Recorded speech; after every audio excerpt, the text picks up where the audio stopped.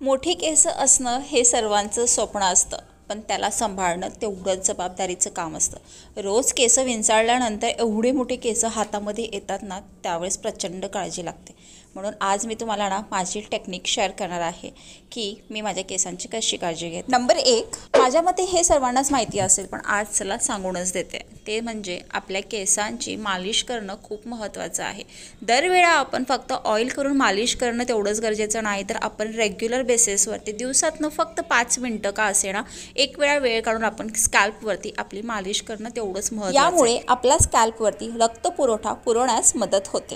केस लांब असू दे किंवा मोठे असू दे केस विंचरण्यापूर्वी सर्वात मेन म्हणजे आपण पहिला आपल्या बोटांच्या साह्याने आपल्या केसांमधला गुंता काढायचा. तुम्ही कंगवा कितीही मोठ्या दाताचा घ्या पण त्याचे दाते एवढे आपल्या बोटा एवढे मोठे नसतात. म्हणून पहिला बोटाने कन केसांचा गुंता काढायचा. त्यानंतर कंगवा हळूवार ज्या पद्धतीने आपण आपल्या एखाद्या नवीन बा जन्मलेल्या बाळाची काळजी घेतो त्याच पद्धतीने केसांची काळजी घेणं खूप गरजेचं आहे. एक वेळा जर स्कॅल्पवरनं केस गळायला सुरुवात झाली की ते थांब राहणार नाही आणि आपलं टक्कल पडल्याशिवाय राहणार नाही. म्हणून ही काळजी तुम्ही नक्की घ्या. केस विंचरण्यापूर्वी पहिला आपल्या बोटाच्या साह्याने गुंता काढा. त्यानंतर मोठ्या दाताच्या साह्याने गुंता काढा नंतर तुम्हाला पाहिजे त्या कंगव्याने तुम्ही तुमचे केस विंचरू शकता. नंबर तीन केस विंचरत असताना एकदम छोटे छोटे सेक्शन घेऊन आपण केस विंचरायला सुरुवात करायची. कारण का? तर आपण फक्त काय करतो? मधनं भांग पाडून दोन सेक्शन केसांचे करतो आणि केस विंचरायला सुरुवात करतो. मंडळी खरं सांगते त्यामुळे पण हेअरफॉल होतो. त्याचमुळे तुम्ही करायचं काय आहे? छोटे छोटे सेक्शन घ्यायचे आणि प्रेमाने थोडं पाच ते सहा मिनटं आपल्या केसांसाठी काढायचं आणि अशा छोट्या छोट्या बटा घेऊन आपण आपल्या केसांचा गुंता काढायला सुरुवात करायची. नंबर चार. केसांचा गुंता छानपैकी काढून झालेला आहे. तर आता करायचं काय आहे? एकदम मस्त अशी पोणीटेल करून घ्यायची आहे. मस्त बन बांधून घ्यायचा. त्यानंतर एकदम हलक्या हाताने तीन सेक्शन करून आपली छानपैकी अशी वेणी घालून घ्यायची. वेणी घातल्यामुळे काय होणार आहे? दिवसभर आपले केस अचकवाचक होणार नाही आणि त्यामुळे ते मधनंसुद्धा तुटणार नाही.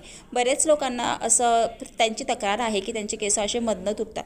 माझे केस फार असे दाट नाही आहे परंतु आहे ते सुंदर आहे. त्याची काळजी मी घेते सध्या. त्यामुळे ते दोन सीझर झाल्यानंतर सुद्धा एकदम छान पद्धत पद्धतीने आहेत. कुठेतरी स्टेप कट करून मी चुकी केली असं मला वाटतं. कारण की स्टेप कट केल्यामुळे खूप माझ्या केसांची जी डेन्सिटी होती ती कमी झालेली आहे आणि वरती दाट आणि खाली बारीक बारीक होत गेले. पण तर आता मी ही चूक करणार नाही म्हणून स्टेप कट करणं टाळा.